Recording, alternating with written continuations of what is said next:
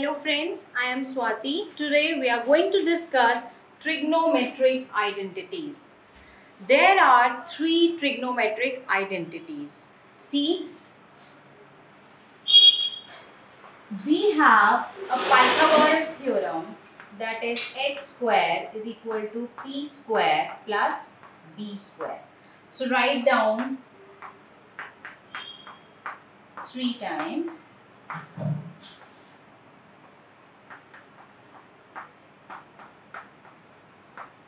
Now there are three parameters h, p and b. So what we'll do is we'll divide first by x square, next by p square and next by b square. We'll derive three identities out of it. So see, this whole equation is divided by x square. That means x square by x square is equal to p square by x square plus b square by x square. What will I get here?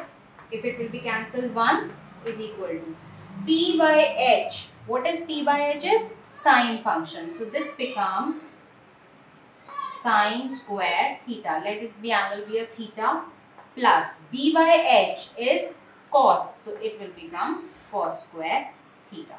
This is your first identity that is sine square theta plus cos square theta is equal to 1.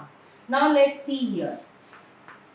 x square by p square is equal to p square by p square plus b square by p square. Now see here.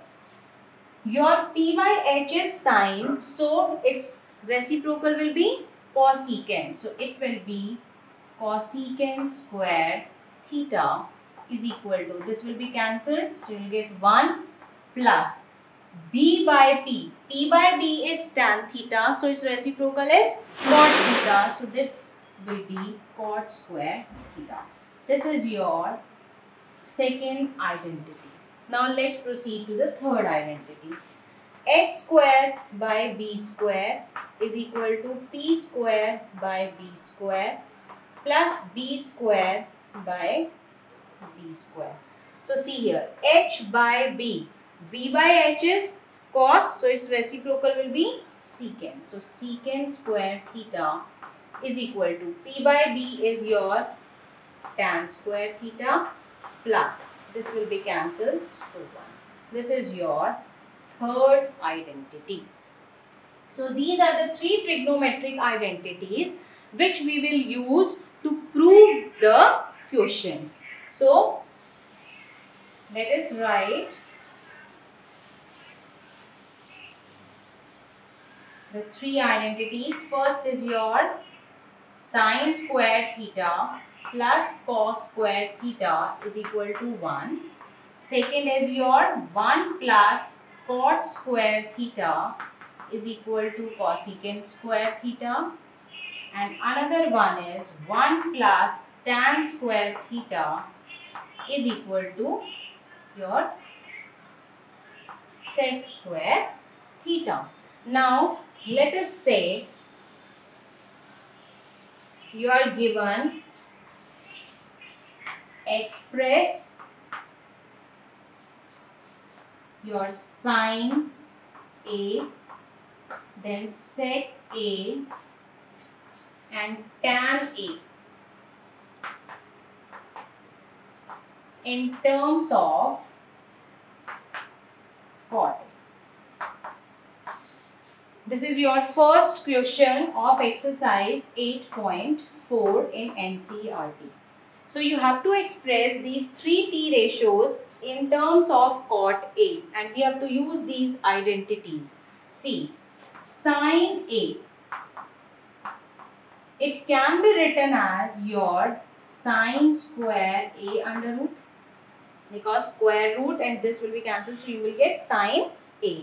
Now sine A it can be written as 1 by cosecant square A because we know that sine A is equal to 1 by cosecant A reciprocal of it. Now see cosecant square A cosecant square theta is equal to 1 plus cot square theta. Here the angle is theta, but here the angle is A. So I can write cosecant square theta as 1 plus cot square theta. So here I can write as 1 upon 1 plus cot square cot square A. Now you have got sine function in terms of cot. So what will you get here? Under root of 1 is 1 divided by under root 1 plus cot square A. See second. Secant A. You have to write secant A in terms of cot A. Now secant A, I can write it as secant square A because secant and uh, this square and under root will be cancelled so you will get secant a. Now see secant square theta is equal to 1 plus tan square theta. So I can write this as 1 plus tan square a.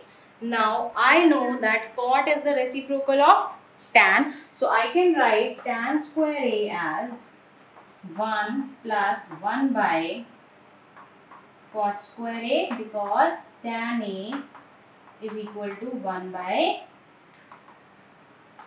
cot A. Now we can take the reciprocal, uh, we can take the LCM. So cot square A, so cot square A plus 1. Now numerator is under root of cot square A plus 1 and if I take the square root of cot square A, we'll get cot A. Now we have got secant A in terms of cot A. Now what is remaining? Tan A. So tan A, it can be written as 1 by cot A. We have simplified all of these three T ratios, sine, sec and tan in terms of cot a. Now, let us discuss one more question.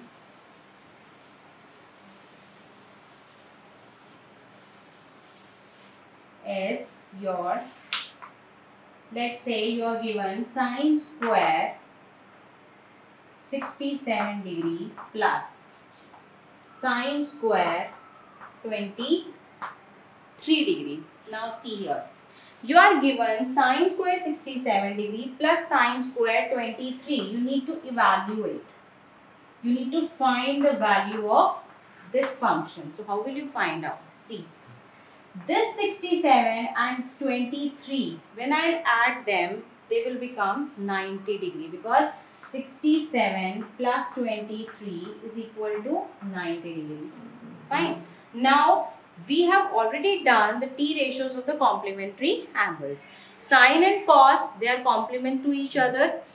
So I can change any of them. Either this to be cos, either this to be cos. So let us say this sine square 67 and remain as such and this can be written as your sine theta. It can be written as cos 90 minus theta. So here in place of theta, what I have? I have 23 degrees. So I can write as cos 90 degree minus 23 degree. So this will become sine square 67 degree plus cos square 67 degree. Now I have one trigonometric identity that is sine square theta plus cos square theta is equal to 1. So in place of theta, I have 67. So when I add them, I get the answer as 1. Let us take one more example. Let's say 9 secant square theta minus 9 tan square theta. I need to evaluate or to find out the value of this function. So what will I do is, see, I have one identity related to tan and secant. Now if I take this tan square theta to right hand side, what will I get? Secant square theta minus tan square theta. So, from these two terms, I can take 9 common. So, what will I get in bracket? Secant square theta minus tan square theta. So, 9 into now I have secant square theta minus tan square theta is equal to 1. So in place of this function, I can write 1. So 9 into 1 is 9. So this is the value of this function. So this is how we have to use these identities to either evaluate to find the value of the expression or to prove some identities. Thank you.